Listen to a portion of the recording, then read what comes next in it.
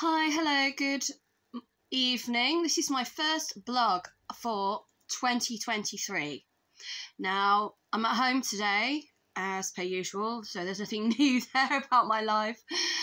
Um, it's after eight, so the boys are asleep, so I'm able to touch wood, um, fingers crossed and toes, to do a quick blog for 2023. Now, this year I will be the big 4 0. I'm one of the youngest in my year at school, so mine is actually in the summer. So, over the next several months, I will be aiming to reach certain targets before the big 4 0 in my life. Obviously, I have got to be realistic with these targets, and I am going to face some challenges. But on a positive note, uh, I've been diagnosed, so I know what my health problems are. I know what medication I should be taking, and hopefully, fingers crossed, I can be a little bit more organised this year because I've been on the same medication now for six months. And the big sigh of relief is that my son finally got his diagnosis for autism. It has been a really long battle. Anyone with children who have SEN needs or on the waiting list for assessments will vouch how mentally and physically, not to emotion, and also emotionally exhausting this is.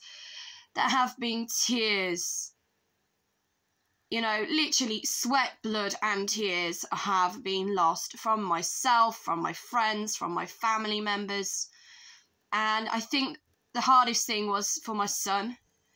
But now he's finally got that assessment out of the way. He has he's got autism. They tend not to specify where he is on the spectrum, just that he this is what he's got.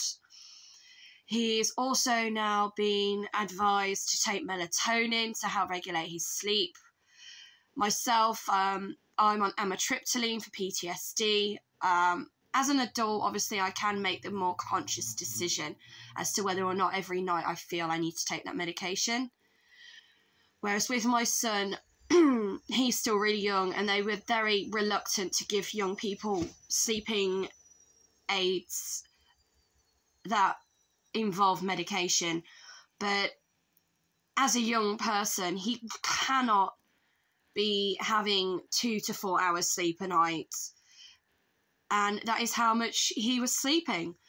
And that was one of the reasons why we couldn't get him to school on time. We couldn't take him anywhere. We couldn't do anything with him. Was because not so much that he was tired, it was that we were his parents. And um, so hopefully, if we can regulate his sleep, it will make things a bit more easier for him as well in the long run and he's also going to be diagnosed to see whether or not he has ADHD, which is classed as attention deficit disorder. So we are, I will be homeschooling him indefinitely. He doesn't have an educational healthcare plan. At the time, the school was saying academically he doesn't need one, there's nothing wrong with him. He passed speech and language, so they don't have any issues with his speech and language development anymore. So he's not under any governing bodies or external governing bodies.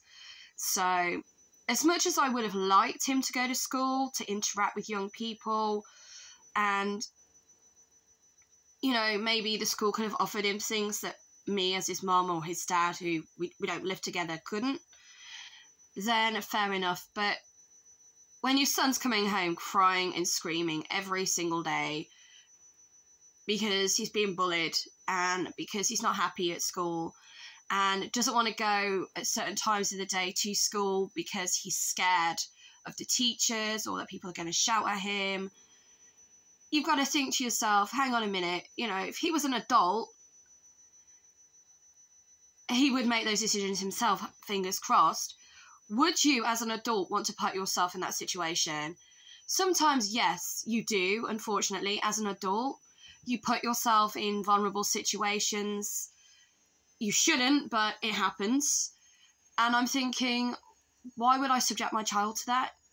What am I teaching my child by saying, I don't care about your wants or your needs? You are going to go to school Monday to Friday, 9 till 4. whether you like it or not. Um, you know, and then to get a phone call two, three hours later, which is what was happening, saying that he had hit, kicked, spit, punched, or bit a member of staff. You know, I mean, it's not fair on him, it's not fair on the school, it's not fair on the other students. And I heard what some of the other students were saying about my trial behind his back, and I wouldn't wish that on anyone. So this year we want to have a positive mental attitude. We're going to homeschool. I'm going to blog about it as much as I can to support anyone else out there who's struggling. And hopefully by the end of this year, my son's needs will be met more. And I'm hoping that all of the developmental goals that I am aiming for him to achieve by January 2024 have been met. And as long as that's happened, I don't care how it happens, then we've achieved something. So, Happy New Year, everybody. Enjoy the rest of the day. I hope anything that I do blog about or take photos of or put on social media is supportive of everybody else. But please remember, you're not alone and do not suffer in silence. Okay, there are so many people out there who are struggling at the moment because of the cost of living, because of all the strikes that are taking place, you know, and